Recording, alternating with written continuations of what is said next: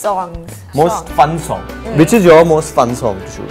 Um, yeah, the most fun song. For me, I think the most fun song was The Galat picture Baat wise Hai. to shoot. Yes. I think to shoot shooting wise, I had the most fun song was Galat Baat Hai because I, I think that song we improvised a lot. There were a lot of steps being made up on on set and Michael Jackson Well, I part and this wasn't and aware that. of that. I was just sort of shown uh, the steps, and I was just like, Correct.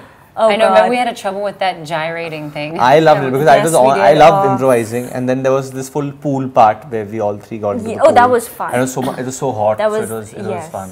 And a lot of those long, long shots. uh, There's one very cool shot I think which people might see in the making is where I'm dancing with Nargis, and no, I dance with Ileana. Then I go to Nargis, and now Ileana has to crawl uh, below us, and she has to come up right in Oh, front of me, so and then the funny. shot continues. It was so funny because hmm. you know the place where I was actually crawling was in frame, and there was a mirror behind me, and I was like, "Oh God, if the camera catches me!" So I'm like really crouched very down, small pathway like that she gets puppy, to do. it was so funny.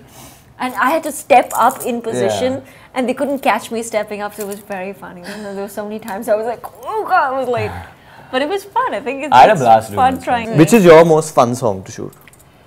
Galat Baat. Galat Baat Hai? Yeah, Yeah. I really because that mic. Remember on the tables, and I'm The like getting Jackson, into yeah, it with the head yeah. there. So I had a good time. You? Yeah. Most fun experience by shooting a song? Besharmi ki Besharmi Hai. Ki Hai. Yeah, I loved the vibe on that set. I think, um, you know, the dancers are, are such such an important part. I mean, Yeah, you don't really energy- think, energy yeah, you you don't think much about that, but they were just insane on that set. I mean, they were just, you know, we There's had to do so many shots. that song more? No, I love dancing with you. Come on, shush. I love dancing with you. But it was just, I think, um, for me, I'm, I'm not a dancer. I'm not trained at all. So, you know, I was, I am not trained. Don't look at me like that. I'm not trained at all.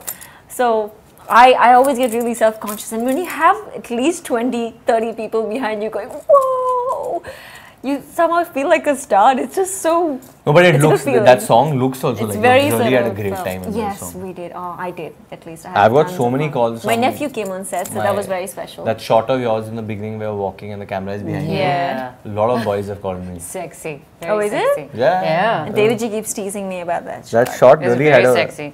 Big effect.